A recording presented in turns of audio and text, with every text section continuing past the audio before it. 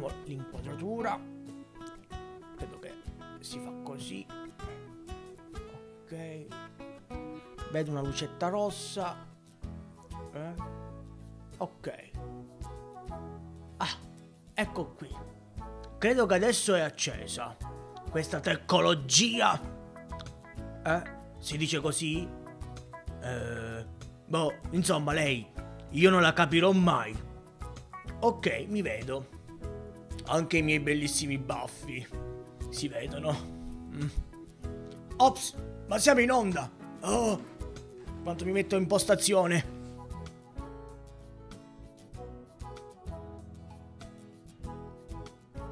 Eccomi in postazione. Ciao bambini, mi presento.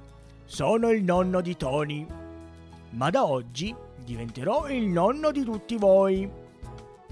Inizieremo questa avventura insieme alla scoperta della storia più bella, la Bibbia. Mio nipote ha insistito tanto per condividere con voi quello che ogni giorno facciamo insieme sin da quando lui era un bimbo come voi. Leggere la parola di Dio, la Bibbia. Non so se voi però siete come lui. Lui era un bimbo birbantello. E voi siete anche dei birbantelli o dei bravi bambini? Perché dovete sapere che Tony lo è tuttora. Infatti mi ha lasciato solo qui alle prese con la nuova Decol... Eh, Decolo... Eh, come si dice? Eh, ah, aspetta. Eh, tecnologia. Ah sì, tecnologia. Ma non mi importa. Sono felice di essere qui con voi e imparerò ad usare al meglio questa tecnologia. Eh, vabbè sì, avete capito.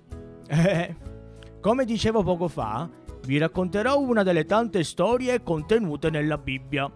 E quest'oggi inizieremo proprio da dove tutto è iniziato.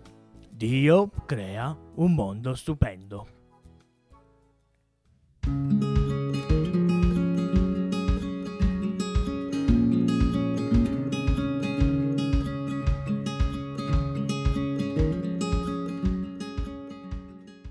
Viviamo in un mondo meraviglioso.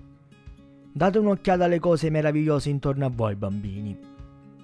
Dai, torniamo all'inizio e vediamo cosa ci dice la Bibbia su come tutto è cominciato. Nel principio Dio creò i cieli e la terra.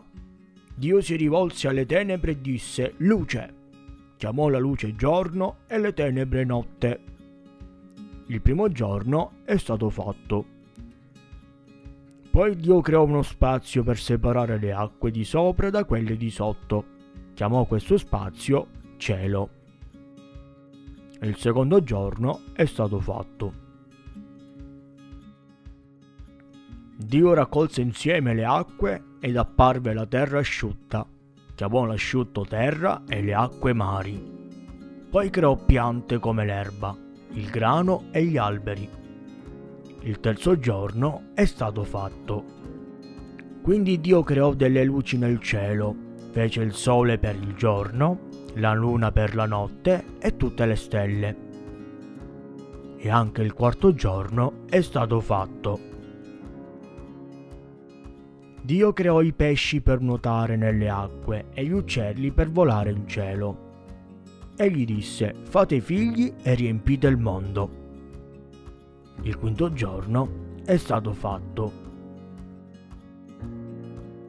Poi Dio creò gli animali, creò animali domestici, animali selvatici e animali che strisciavano sulla terra. Solo una cosa è rimasta da fare, disse Dio, la più straordinaria di tutte. Quindi a sua immagine Dio creò l'uomo e la donna e li chiamò Adamo ed Eva e gli disse, fate dei figli, prendetevi cura del mondo, occupatevi dei pesci, degli uccelli e di tutti gli animali. E anche il sesto giorno è stato fatto. Allora Dio guardò tutto ciò che aveva creato e disse, è molto buono. Così il settimo giorno si riposò e rese speciale quel giorno. E anche il settimo e ultimo giorno è stato fatto.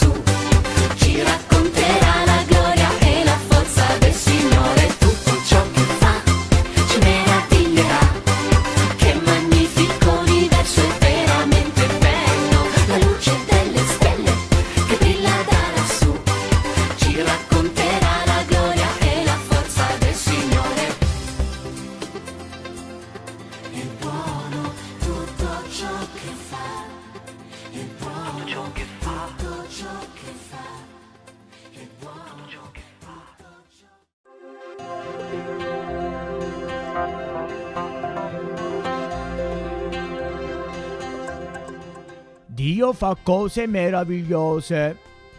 Cari bambini, oggi vi ho raccontato la prima delle tante bellissime storie contenute nella Bibbia. Come avete ascoltato, Dio ha creato ogni cosa bella e in modo perfetto. Vi capita mai di fermarvi e guardarvi intorno e ringraziare Dio per tutto ciò che ha creato? Gli animali, il cielo, il mare, la natura tutto il mondo intero è stato creato da Dio. Ma la creatura più importante, la più bella in assoluto, avete sentito qual è? È l'uomo. Sì, bambini, proprio così. Anche io, Tony e voi bambini facciamo parte della creazione di Dio.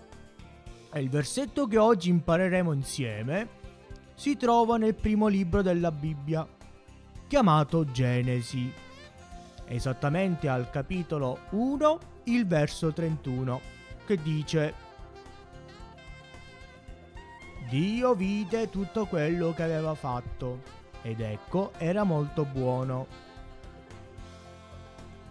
Ripetiamolo insieme.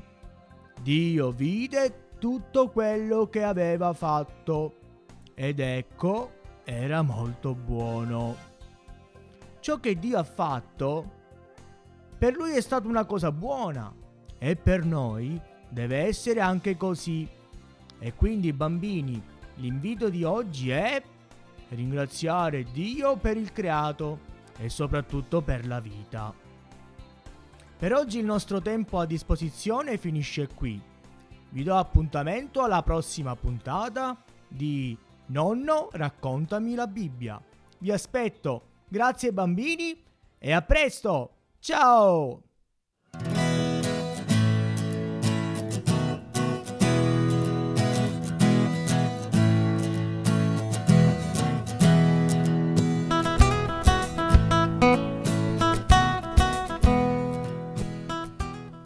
Se questo video ti è piaciuto, continua a seguire il canale YouTube e la pagina Facebook Tony's Puppets.